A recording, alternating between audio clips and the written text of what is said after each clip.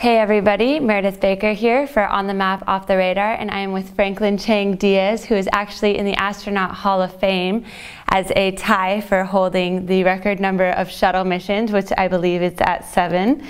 And he's also the president and CEO of Ad Astra Rocket Company.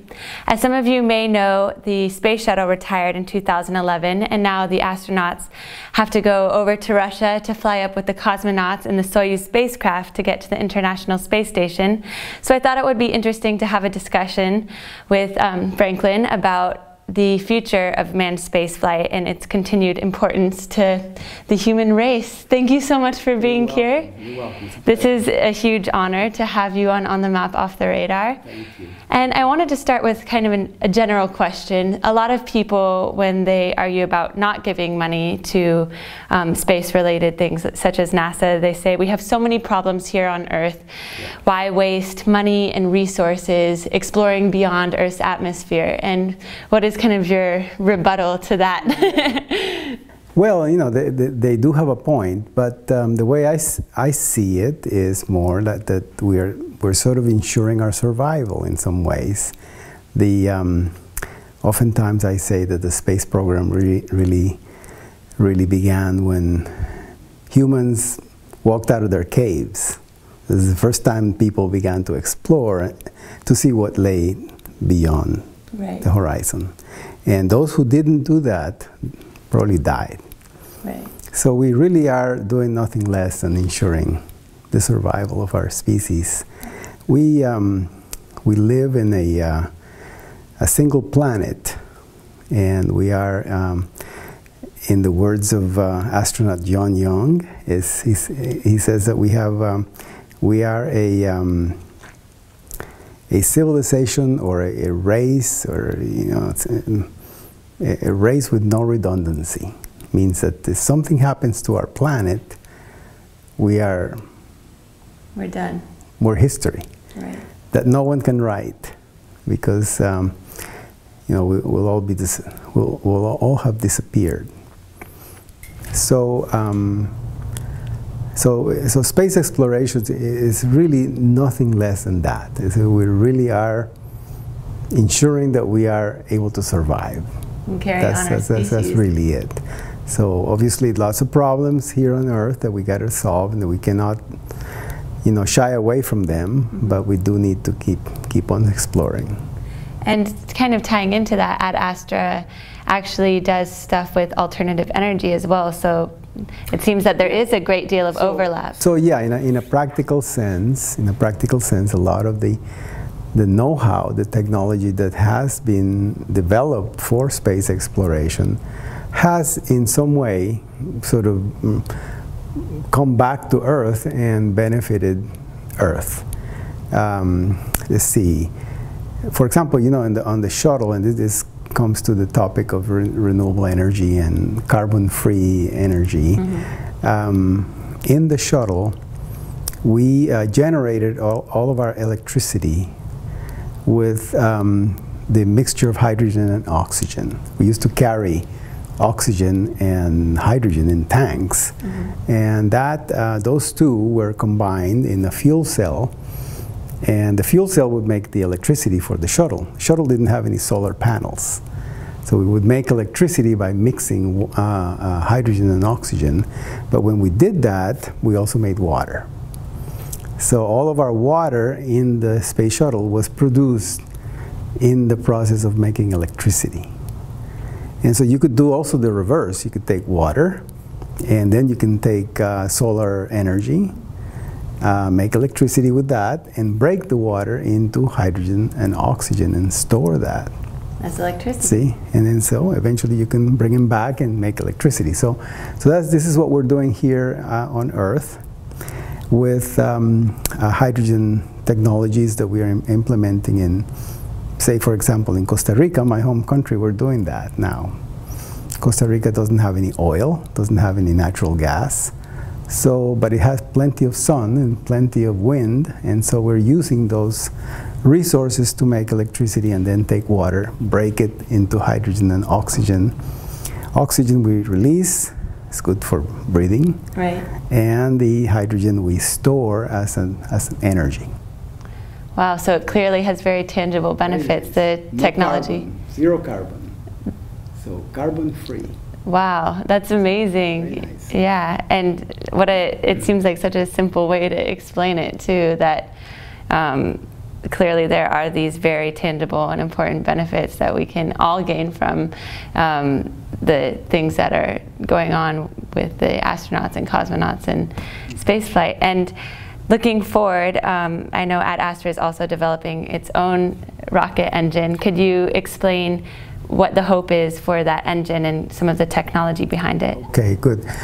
so yeah, the hope is to to develop a a, uh, a, a means of transportation in space that is, you know, um, a little cheaper than than the conventional means that we have today, which is um, uh, chemical propulsion. All of the transportation that we do in space now is uses chemicals.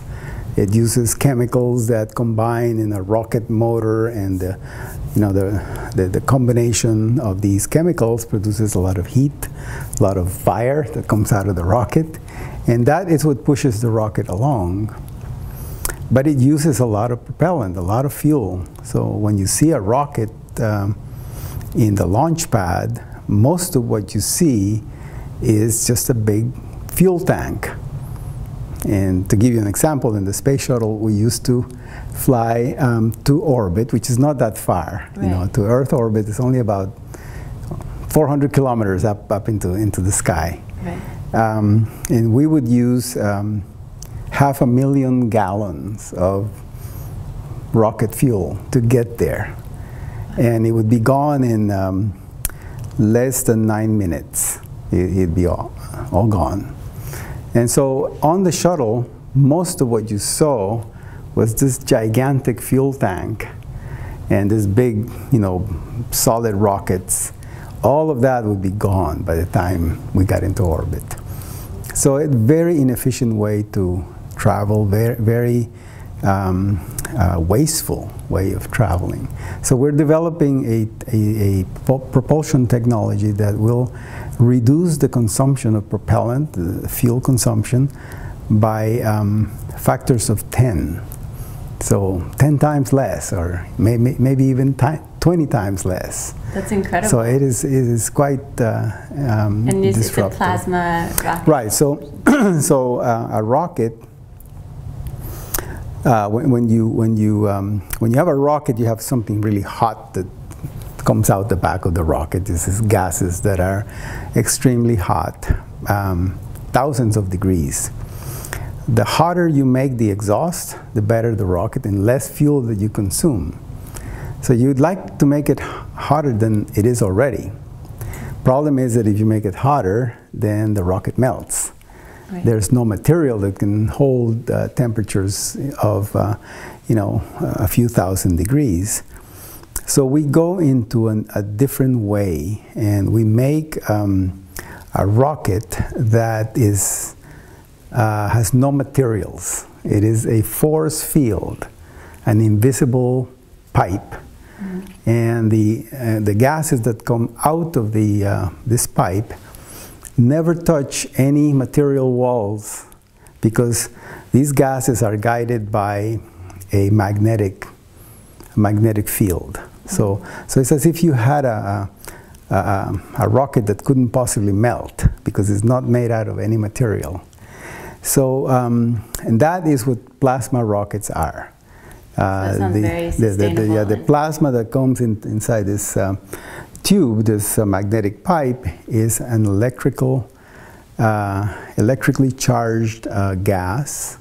And because it is electrically charged, it clings to this magnetic field and it, it does not move away from it. You see, it, uh, it's, it's, it's, confined, and so, uh, so the, the, the, plasma never touches any of the surrounding walls of the rocket.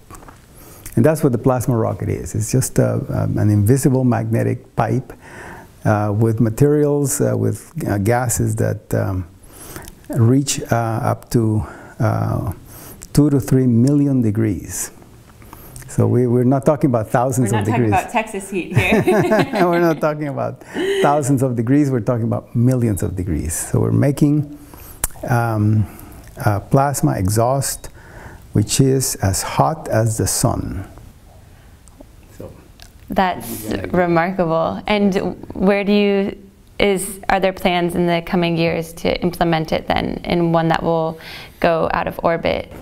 Yeah, so so right now the the rocket is is being tested in in in an environment which is like space. Obviously, we we don't have it in space yet, mm -hmm. but so we make our own our own environment, our own space in a in a big chamber, which we call a vacuum chamber.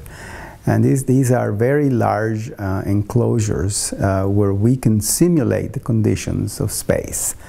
Uh, namely, the, the, the air is being removed, and so inside this chamber there's a complete vacuum, just like in space. And so we are able to, um, to put this, this rocket inside that chamber and fire it there mm -hmm. and measure the, the performance, you know, how, how how efficient is, it is, uh, how, uh, how much fuel does it use, uh, how hot is the fuel, the exhaust, and, and so all the things that we want to know about this, uh, this engine, uh, we, can, we can do that in our chamber here in our company. And when we're happy with it, and of course NASA is also happy with it, right. then we, uh, we will test it in space. And we will, we will do that in order to confirm that what we measured here in our vacuum chamber happens really in space and validation of the, of the data. And then once that does happen, is the goal then for it to propel potential manned space rockets? Yeah, so now the goal then is to have this new engine which uh, allows you to now do transportation mm -hmm. of anything cargo, satellites, uh, supplies, people, anything that you want to transport, you can do it um, uh, a little bit more efficiently, a little cheaper, uh, or you can or you can bring more stuff with the same effort that you used to before. So th th that's the goal, and um, we are, you know, a co company. We're a private company that uh, we, are in business to make some money. Mm -hmm. obviously, we're we're trying to make this. Um, uh, a, a, a, revenue revenue generating venture, and, and, and the business is the business of transportation, right? The business of trucking.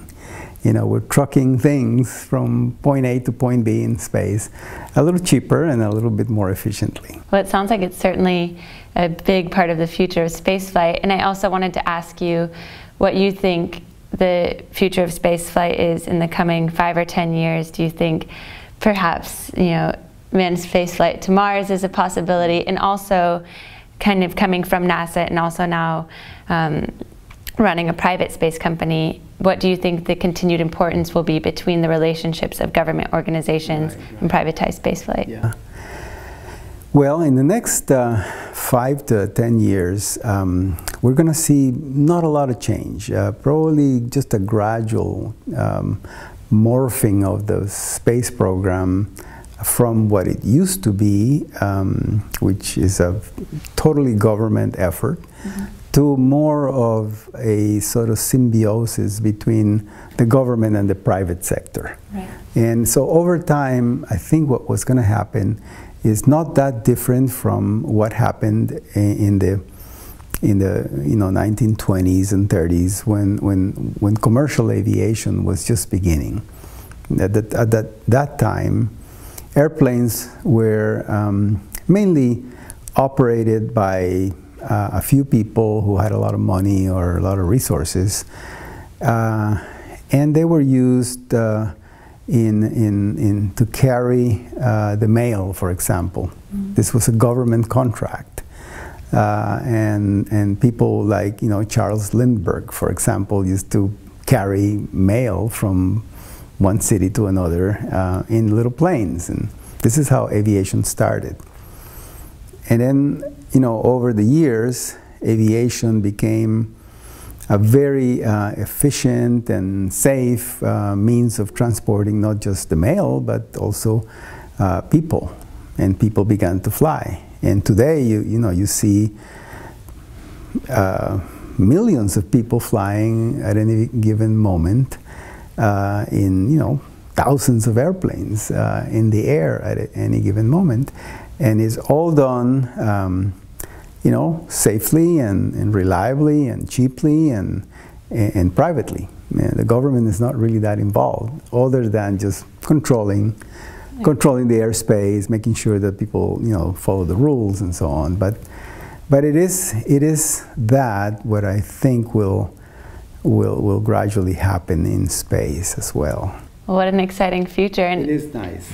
And it's incredible that you're playing such a big role in the future of spaceflight and making it more efficient, cleaner, and cost effective. The goal, you know, the goal, Meredith, is, is, is that ultimately we uh, should all be able to fly in space. That space is not a place that only a few can go. You see, right now, it is a, still a very exclusive club, and it's not, it's not good that it stays like that.